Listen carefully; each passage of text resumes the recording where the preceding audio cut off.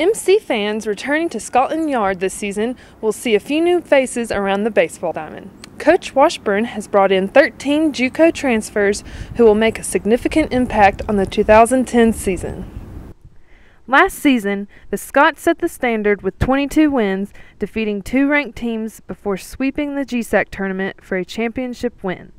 After graduating eight seniors at the close of 2009's season, Coach Washburn searched for new blood to add depth to a team with high expectations. When you lose the number of seniors that we did, um, you've got to have some guys that are that are prepared to play. Um, I thought we had a good group of returning players, but I think that we needed to add some specific things and add some guys that had some experience. When it first happened, I was a little little uh, sketchy about it. Yeah. But they come in, they work as hard or harder than anyone else. They're all good guys. They've added uh, a nice personality to the team, and they're fun to be around. So they've really added an element to our team, and I enjoy them. Among the Scots graduating seniors, five were pitchers, including both weekend starters and some of the bullpen.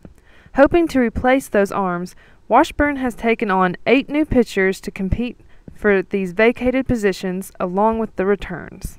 I think that we've just got a nice, diverse group of guys that um, they're going to fill a role, and that's key because you can't have a bunch of starters and you can't have a bunch of relievers. You got to have guys that are going to do both and, uh, and doing well, and, and we're not going to be successful unless we can fill all those roles. Our coach's uh, theory is if we do, if we keep five earned runs or less, if we give up that many runs every outing, then we'll, we should win. Washburn is confident that the current lineup has the ability to compensate for the loss of former Scot Ben Peters, one of the biggest batters in MC history.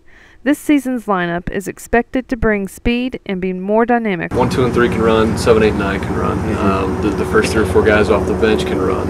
Yeah. Um, so you, you, put that around, uh, you know, four, five, and six, which are Kyle Sapriziak, Jamie Davis, and, and Josh Michaelanis. Mm-hmm. Um, those three guys, you know, not quite as fleet of foot in the middle, um, but but you know, in front of them, behind them, we can run a little bit. Looking forward to maintaining the momentum of last season's success, the Scots all seem to have a common goal in mind.